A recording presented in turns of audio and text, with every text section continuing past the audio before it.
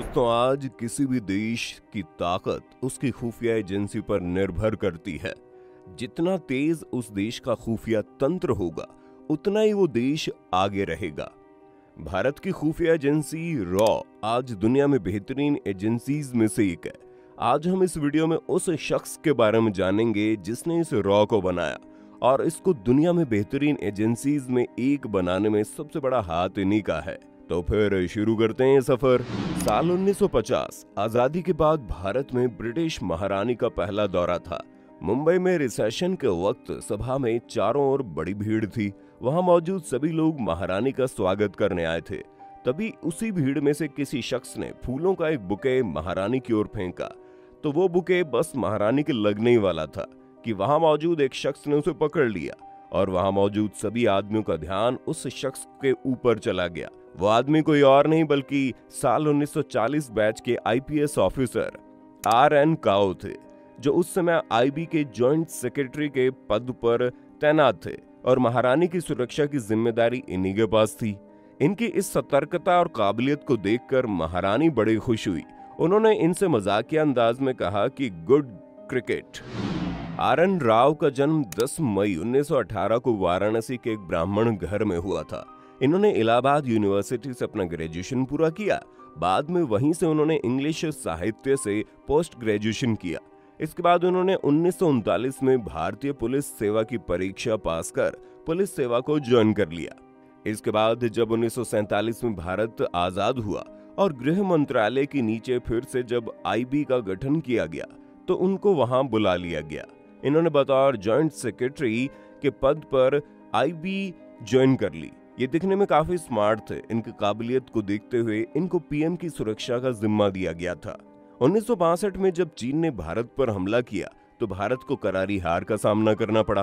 भारत का खुफिया तंत्र कितना कमज़ोर है, ये बात पूरी दुनिया के सामने अब आ चुकी थी। भारत में कई नेता अब खुफिया एजेंसी के लिए मांग उठाने लगे थे, पर नेहरू को चीन से दुश्मनी नहीं लेनी थी और उनका चीन की तरफ़ नरम रुख इनको ये करने को मना कर रहा था। पर उन्नीस में इनकी मृत्यु के बाद जब पीएम लाल बहादुर शास्त्री बने तो ये मांग और तेज हो गई और उसके पहले ही उन्नीस में शास्त्री जी की मृत्यु हो गई। इसके बाद पीएम कुर्सी पर इंदिरा गांधी जी बैठ गई, जो चाहती थी कि भारत एक शक्ति के रूप में पूरी दुनिया में जाना जाए। तो उन्होंने उन्नीस में आईबी के दो टुकड़े कर रॉ बनाने का फैसला किया और रॉ को काम दिया गया, वो विदेशों में हो रही खुफिया हरकतों की जानकारी भारत तक पहुंचाएगा, जिसके लिए सबसे काबिल और अहम शख्स थे आर एन काओ, इनको रॉ का निदेशक बनाया गया। काओ ने केवल तीन साल के अंदर ही अपनी काबिलियत को साबित कर दिया। साल उन्नीस सौ इकहत्तर में भारत और पाकिस्तान युद्ध में रॉ ने बहुत ज़रूरी रोल निभाया था। रॉ ने पहले ही पाकिस्तान के एयरफोर्स के हमले का प्लान भारत की आर्मी तक पहुँचा दिया था, जिसकी वजह से पाकिस्तान अपनी कोशिश में बुरे तरीके से फेल हो गया और युद्ध में उसको हार का सामना करना पड़ा। नेहरू की मृत्यु के बाद सिक्किम भूटान की तरह स्वतंत्र दर्जे की मांग करने लगा। 1975 में इस मांग को लेकर वहाँ के राजा का परिवार अपनी आवाज़ को तेज़ी से बुलंद करने लगा था, बल्कि भारत तो सिक्किम का पूरी तरह से विलय चाहता था। अब इसकी ज़िम्मेदारी फिर से आर एन काउ को दे दी गई। उनसे कहा गया, पूरे विलय से कम में बात नहीं बननी चाहिए। इसके बाद काव ने अपने मिशन की शुरुआत की और उन्होंने सबसे पहले वहाँ के राजा के विरोध और लोकतंत्र के पक्ष में जो नेता थे उनको भारत की तरफ़ से पूरा सपोर्ट दिया, जिससे वो भारत में विलय के लिए एक माहौल बनाया जा सके। तभी बंगाल में तैनात अमेरिका के राजदूत पीटर सिक्किम पहुँचे और वहाँ के राजा से मुलाकात की। इनकी जानकारी जैसे काऊ को मिली, उन्होंने तुरंत मीटिंग कर ऑपरेशन तेज करने को कहा। उसके बाद राजा के जन्मदिन के दिन जब राजा और उनका बेटा राजभवन जा रहे थे तो विरोधियों ने उन्हें घेर लिया, जिसके बाद उनके गार्ड्स ने गोली चलाई, उसमें से दो लोगों की मौत हो गई। जिसके बाद विरोधी नेताओं ने पूरे सिक्किम में चक्का जाम कर दिया। इसके बाद वहाँ के राजा को भारत से मदद मांगनी पड़ी, जिस पर यह तय हुआ कि भारत अब सिक्किम की पुलिस को संभालेगी। राजा के पास केवल राजभवन और वहाँ के गार्ड्स पर अधिकार रहेगा, पर भारत तो सिक्किम का पूरा विलय चाहता था, इसलिए चुनाव भी कराने का तय किया गया। पर चुनाव में विरोधियों का 70 फ़ीसदी में सीटों पर जीतना ज़रूरी था। इसके चुनाव से ठीक पहले काओ ने आर्मी का फ्लैग मार्च कराया। जिससे वहाँ की जनता के बीच लोकतंत्र के प्रति विश्वास बढ़ सके। काओ का ये प्लान काम कर गया और नेता काजी की लीडरशिप में कांग्रेस ने बहुमत की सरकार बनाई। चुनाव में हार के बाद वहाँ के राजा को लग गया। अब उसके पास से राजभवन भी जाने वाला है। तो उसने इस मुद्दे को नेशनल मुद्दा बनाने का प्रयास शुरू कर दिया। चीन भी भारत के इस फैसले के खिलाफ था। जब तक चीन कुछ कर पाता, तब तक काओ ने इंडियन आर्मी को राजा के महल में भेजकर उस पर अपना कब्जा कर लिया। फिर सिक्किम का भारत में विलय के लिए पब्लिक वोटिंग के फैसले पर राजा को तैयार कर लिया।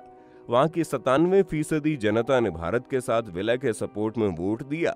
इस तरह से भारत में पूर्ण रूप से सिक्किम का विलय 16 मई 1975 में हो सका। साल 1975 में एक सुपारी का व्यापारी बांग्लादेश के राष्ट्रपति शेख मुजीबुर रहमान से मिलने गया।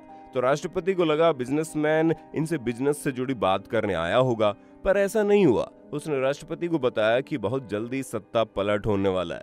उसने ये भी बताया कि सत्ता पलट कौन करने वाला है, पर राष्ट्रपति ने उस बिजनेसमैन की बात को नजरअंदाज कर दिया।